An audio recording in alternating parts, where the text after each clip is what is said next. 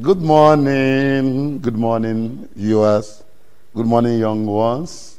This is the Daily Dynamite.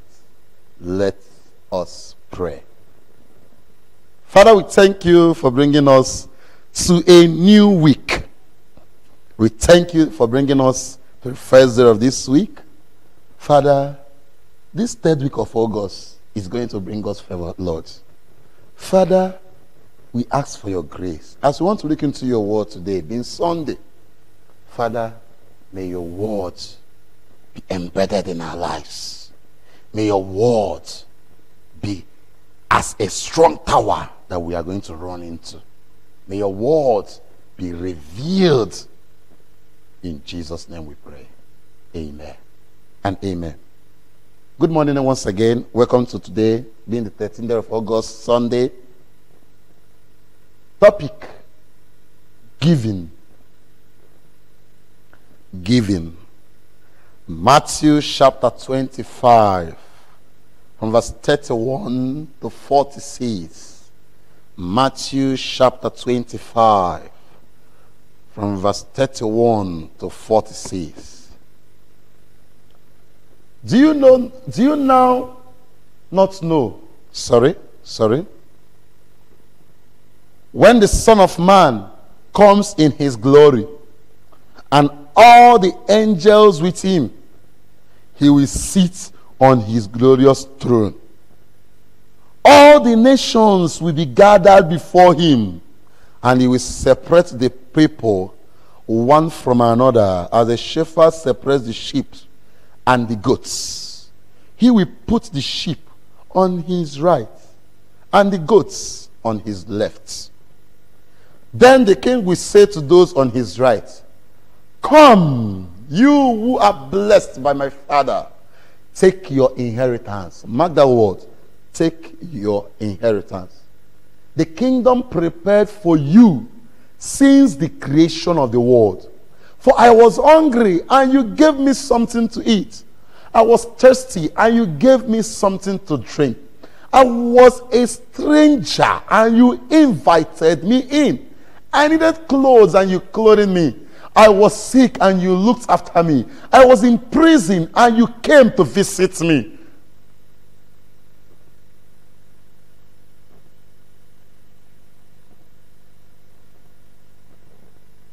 When the righteous will answer, then the righteous will answer him, Lord, when did we see you hungry and feed you, or thirsty and give you something to drink? When did we see you a stranger and invite you in, or needing clothes and clothe you? When did we see you sick or in prison or go to visit you? and go to visit you. Then the king will reply, I tell you the truth, whatever you did for one of the least of these brothers of mine, you did for me. Then he will say to those on his left, Depart from me, you who are cursed, into the eternal fire prepared for the devil and his angels. For I was hungry and you gave me nothing to eat.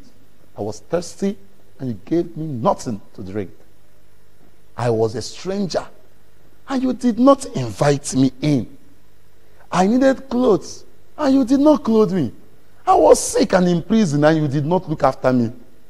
Then oh, they also will answer, Lord, when did we see you hungry or thirsty? Or a stranger, or needing clothes, or sick in prison or in prison, and we did not help you? He will reply, I tell you the truth. Whatever you did not do for one of the least of these, you did not do for me. Then they will go away to eternal punishment, but the righteous to eternal life. This is the word of the Lord. Thanks be to God. Our anchor verse is verse 35. Verse 35, which says, for I was hungry and you gave me something to eat. I was thirsty and you gave me something to drink. I was a stranger and you invited me in. I was talking with someone today Okay, that should be okay. Yes, a few days ago.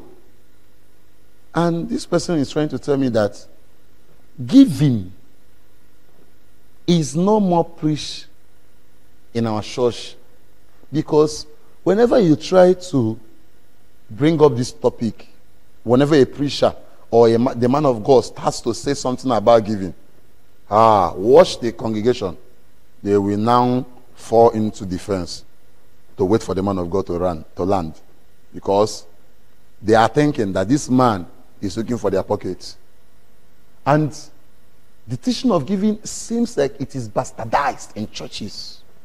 And this person told me that doesn't mean that the teaching of giving is not important. It is very important. The Lord in our text today, in his own words, said that the people that we are casted to the left as goats, people that, were, that will be casted to the lake of fire, are those that are, he called them, there was a, there's a translation that calls it, you workers of iniquity. He likens those that don't help, those that don't give out. He likened them to goats. He likened them to workers of iniquity. When you will see your friend in help and you did not help, when you see something that is that is in need and you have the resources and the finances to help out and you refuse, it is counted to you as a work of iniquity.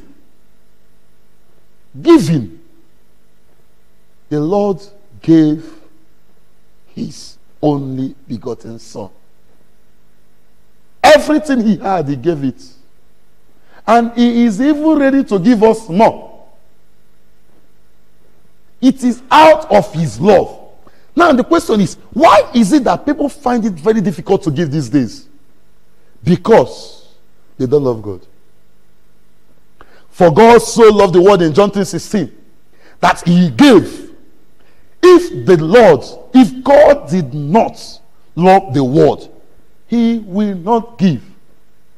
If you love God, my dear brothers and sisters, my dear young ones, my fellow youths, if you love God, you are going to give to God. Your tithes and offerings that we are preaching every day, and we are telling you, give, give. That ah, even the Bible, as it's saying, give and shall be given unto you. People are even using it to sing, but they still don't give. Another reason why people, why people is that why people refuse to give is that most times people will give having the mentality that when they give, that the Lord is going to give them back the same thing, the same equation. Ah, are you doing trade and barter with God? Are you doing a business with God? Are you doing Ponzi scheme, uh, Ponzi scheme with God that you will give God 1,000, God will bless you? Now, if we look at even that, if God is going to bless you from what you give, you that has been giving 15 naira every day as offering, you that have been giving one dollar or two dollars as offering every Sunday. No, let's check it. One dollar times ten is how much? It's ten dollars. Times hundred is how much? Hundred dollars. Your 15 naira or your 100 naira times 10 is how much? It's just 1,000 naira. If God is going to bless you in 10 folds, God is going to look upon that which you have given Him to bless you. That means you're not giving enough. We need to give more. What are we to give? Our resources, one. Our finances, two. Our time. He gave us this life. You are going to, you are, you are supposed, it is, so it is, uh, it is an, a, a proper thing for you to give your life to Him. Give your life first because Christ gave his life first to us. Then, from our passage today, he says that, uh, according to our anchor verse, he said that he was hungry. For I was hungry and you gave me food. I was thirsty and you gave me drink. I was a stranger and you took me in. The previous verse, verse 34, says something that he will, is going to tell these people that gave him food, that gave him water, and gave and took him, gave him shelter. He said that there is something that he will tell them in verse 34 that the, then the king will say to those on his right, Come, you who are blessed by my father, take your inheritance, the kingdom prepared for you. Now, the inheritance of those the inheritance of those that give to God.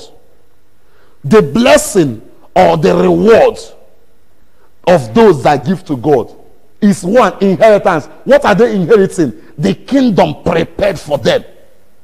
It simply means that when you see a stranger, when you see someone in need and you help that person, it simply means that you are working on your inheritance in heaven. Not made, it is not appointed unto man to bless you, to give you a result for that. Most people give, give. He said that uh, when Jesus was trying to tell the, uh, the people, the multitude, he told them that you give like the Pharisees. They will let everybody know that I want to give to this person. You know? He said, Let your right hand not know what your left hand is doing. Let me tell you, that person that you gave in secret, the Lord who sees you in secret is going to see what you do in secret and bless you openly. He said that, Come, take your inheritance. Inheritance. Take your inheritance. What did they do? They fed people on the streets. What did they do? They saw someone that is thirsty and they gave the person. What did they do? They gave shelter to strangers, stranded people on the road, on the streets. Something as simple as this gave them inheritance. Young people refuse to give today because they, they have been brainwashed. Young people refuse to give today because they, they, they, they, they, they give with the mindset that the Lord is going to bless me tenfold. And when they don't see the blessing forthcoming, ah, they will not give again. Your life is a, it should be a practical example of giving because the Lord is there to show you a, example to his son. Praise the Lord. Hallelujah. Now, let's, he said that even in this world, giving is a godly lifestyle that needs to be embraced by all, all, especially the youth. We might not be talking much about the older ones. Very soon, we will not see them again. But we young ones that are going to stay for long, have more years to spend in this life, it should be, it should be our lifestyle. It should be our lifestyle.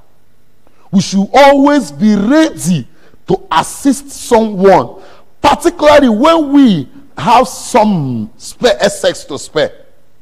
Some people we have bags of rice in their house. Some we have one full bag of uh, one full bag of rice, two bags of rice, but the neighbor they are trying to beg to get even if it's one cup. I'm not asking you to give the person dash the person your rice, so. But the thing is, you should learn to give when you have excess. As youths, we must learn to cultivate the habit of giving because when we start giving at this age, by the time we grow up, we have more resources. It will be difficult for us to give because of by then it will become a lifestyle. One of the little you earn now or are giving Remember to always pay your tithes. First, give to God. Again, the motive for which you give is important. He said that the first thing is give to God. Like I said when I was starting, give to God your life first. As you are giving, as you are instructed to give man, you have to learn to give God too. Give to God first. Because God gave you first before. If even the life you are living to you have today is even God that gave it to you. So you have every obligation to give to God. How are you supposed to give to God? Give your life, then give to God through when through the process of giving to other persons. The motive which we give is important. Do you give because you want to receive? Or you give because it is what, what God wants you to do? and it is your lifestyle as a believer. Shake your motive again. Shake. Why are you giving? Because you want to get you want you need you, you, you need something, have you? Why? Shake your motive again. Food for thought. When you can't give out the little you have, ah, you won't give when you have more. Hmm. Who, who, he who is faithful with a little, with a little.